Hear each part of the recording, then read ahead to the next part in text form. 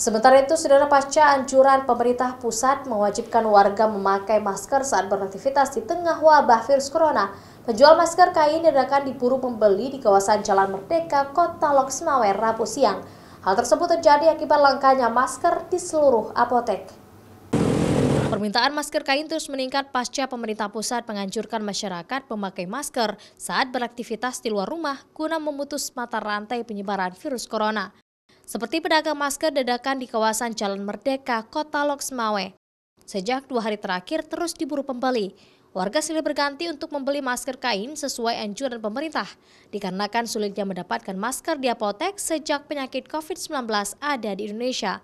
Harga jual masker kain ini pun bervariasi, mulai dari harga Rp10.000 per masker hingga Rp25.000 tergantung bahan kain yang digunakan.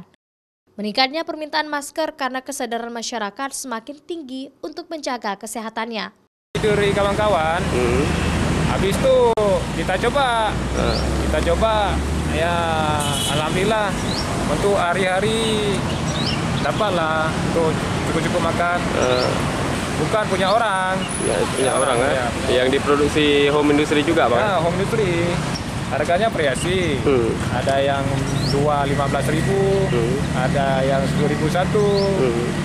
ada yang macam-macam lah.